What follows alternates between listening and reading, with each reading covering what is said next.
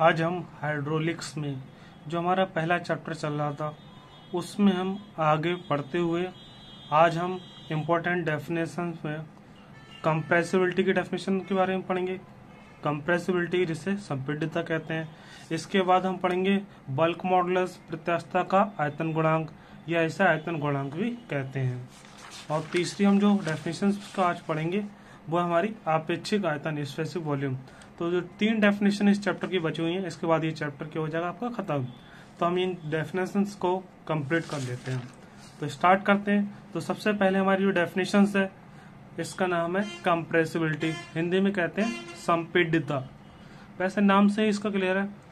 Compressibility का मतलब हुआ एक ऐसा द्रव जिस अगर हम बात करें, ये हमारा हाइड्रोलिक द्रव के लिए ही होता है तो यहाँ द्रव की ही बात करेंगे हम। तो कंप्रेसिबिलिटी क्या है? It is the it is the ability of fluid to compress मतलब किसी भी फ्लूड की कंप्रेस होने की एबिलिटी को हम क्या कहते हैं? कंप्रेसिबिलिटी कहलाता है। ठीक है? किसी भी फ्लूड की कंप्रेस होने की कितनी योग्यता मतलब कौन सा फ्लूड कितना कंप्रेस हो सकता है? वो उसकी क्या कहलाता है? कंप्रेसिबिलिटी कहलाता है। जो ज़्यादा अधिक कंप्रेस हो सकता है, उसकी कंप्रेसिबिलिटी अधिक है। जो कम कंप्रेस होगा, उसकी कंप्रेसिबिलिटी क्या है? कम है। तो जैसे अगर हम बात करें डेफिनेशन देखते हैं यहाँ पर।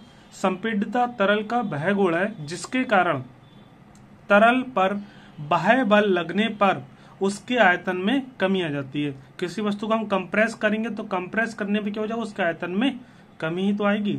अगर मान लो हम किसी भी जगह पर, मान लो यहाँ पर कोई भी द्रव भरा हुआ है, ऐसा द्रव भरा हुआ है जैसे मान लो गैस है, ठीक है? गैस है और इसे हम क्या कर रहे हैं? ऊपर से हमने सिलेंडर के ऊपर से पिस्टन द्वारा उसे प्रेस करा। तो प्रेस करने पे क्या हो जाएगा? जो गैस भरी है वो क्या हो जाएगी? दब जाएगी।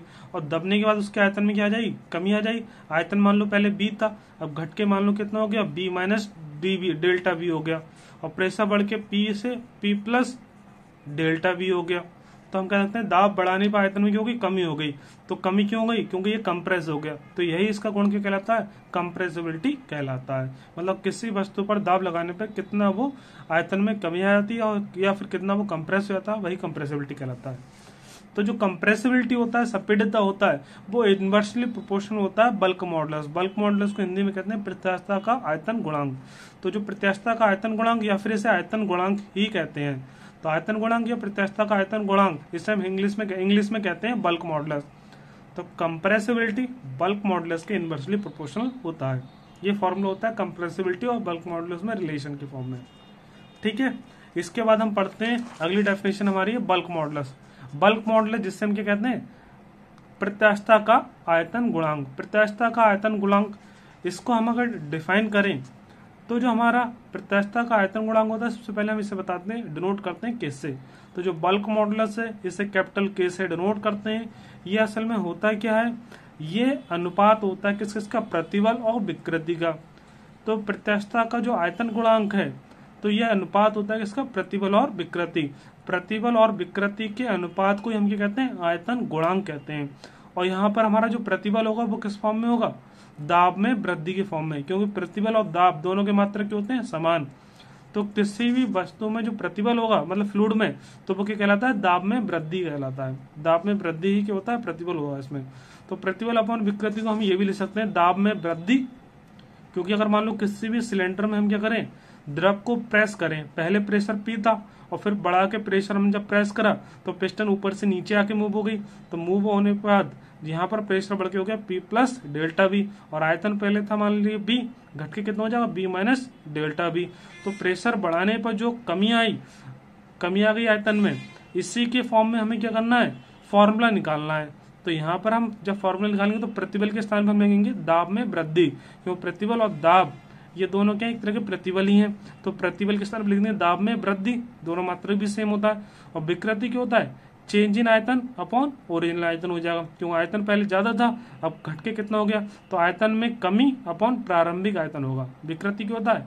आयतन में परिवर्तन अपॉन प्रारंभिक आयतन होता है। तो हमारा ये प्रत्यास्थता का आयतन गुणा से कैसे नोट करते हैं? ये फॉर्मूला होता है, किसका अनुपात होता है? प्रतिबल अपॉन विकृति का। प्रतिबल के स्थान पर लिखेंगे दाब में वृद्धि और विकृति स्थान पर आयतन में कमी अपॉन प्रारंभिक आयतन। अगर बात करें पहले दाब बी पी था और बढ़ के कितने हो गए? पी प्लस डेल्टा पी जब आपने प्रेस करा, तभी क्या हो गया? आयतन में आयतन में कमी आ जाएगी और दाब में वृद्धि। आयतन हमारा पी से पी प्लस डेल्टा पी हो गया तो आयतन में कितना कमी, परिवर्तन आ गया? बढ़ के हो गया पी प्लस डेल्टा पी पहले कितना था? पी तो दोनों में जो परिवर्तन आ गया वो हो गया डेल्टा पी परिवर्तन आ गया डेल्टा पी चेंजेस इसी तरह से पहले आयतन कितना था हमारा? कैपिटल बी और हमारा घट के कितना हो जाएगा? बी माइनस डेल्टा बी तो हम कहें आयतन में कमी कितनी हो गई? आयतन में परिवर्तन आ गया हमारा कितना? बड़े में से छोटा घटा दिया B minus B minus delta B हमारा परिवर्तन हो गया डेल्टा बी अब यहाँ पर आप देख सकते हैं आयतन में क्यों हुई है कमी? तो कमी हुई है तो ये आयतन में जो परिवर्तन आएगा वो किसमें रहेगा? माइनस में रहेगा। अच्छा। इसके बाद हम दोनों को क्या करेंगे? फॉर्मूले में पुट कर देंगे।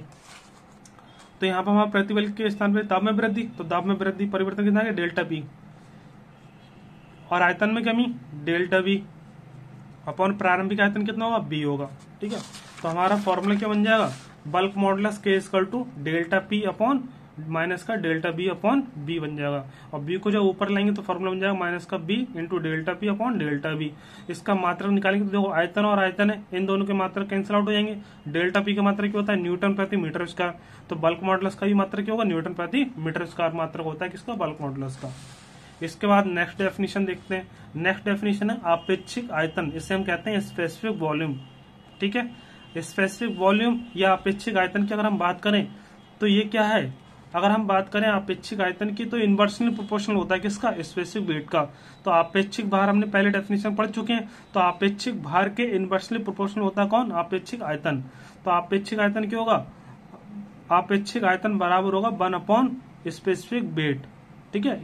आपेक्षिक भार को अगर हम उल्टा कर दें, तब क्या बन जाता है? अपेक्षिक आयतन बन जाता है। तो अपेक्षिक भार अपेक्षिक आयतन इक्वल टू वन अपॉन अपेक्षिक भार। और अपेक्षिक भार का मान अगर पुट करें अपेक्षिक भार क्या होता है डब्ल्यू अपॉन बी होता था, भार अपॉन वॉल्यूम तो भार अपॉन वॉल्यूम तो जब वॉल्यूम ऊपर आएगा तो बन जाएगा वॉल्यूम अपॉन भार।